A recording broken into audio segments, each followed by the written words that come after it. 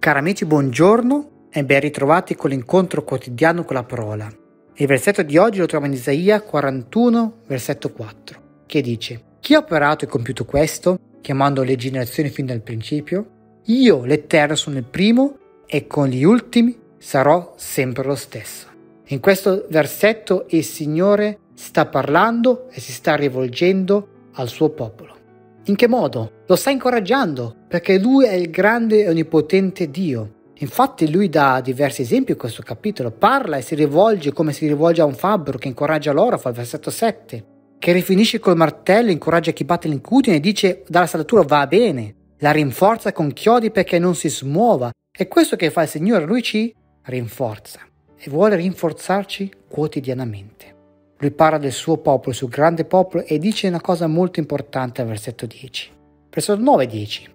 Te che ho preso dall'estremità della terra, che ho chiamato dagli angoli più remoti di essa, ti ho detto, tu sei il mio servo. Ti ho scelto e non ti ho rigettato.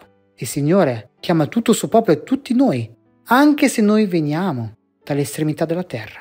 E che cosa dice a questo popolo che lui ha chiamato e che lui ha scelto e che non ha rigettato.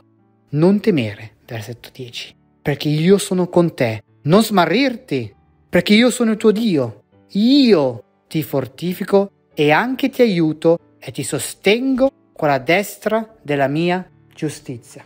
Questo è quello che fa il Signore, Lui ci sostiene. Ci sostiene in che modo? Lui ci aiuta e ci sostiene con la destra, che è la sua mano destra, che è la mano della giustizia del Signore. E il Signore non vuole che noi siamo smarriti, che abbiamo timore perché Lui è colui che ci fortifica sempre, anche se veniamo dall'estremità della terra. L'estremità della terra rappresenta in qualche modo noi che veniamo da una situazione lontana, distante, che magari è distante proprio dal Signore, il nostro Dio che ci fortifica. Magari è una situazione difficile e noi non ci sentiamo in qualche modo avvicinarci a questo Signore, ma Lui che ci chiama dall'estremità della terra di venire a Lui, perché anche nei momenti di difficoltà Lui sempre ci fortifica, ci sostiene con la mano destra della sua giustizia perché questo è quello che Dio è. Il Signore è giustizia e porta a giustizia il suo popolo. Magari oggi noi ci sentiamo un pochino smarriti, abbiamo dei timori nella nostra vita presente, ma non dimentichiamoci questo Dio che ci fortifica, ci fortifica nei momenti dove noi abbiamo più bisogno. Lode al nostro Dio onnipotente, perché come dice il versetto di oggi, che è versetto 4, chi è che ha operato e compiuto tutto questo? Chi è che ha chiamato le generazioni dal principio? È l'Eterno. Lui dice, io l'Eterno sono il primo e con gli ultimi sarò sempre lo stesso. Lui rimane sempre lo stesso, questo Dio che porta giustizia alle nostre vite. Un bellissimo passaggio questa mattina che ci fa pensare. Noi siamo servitori di questo Dio e Lui ci ha scelto.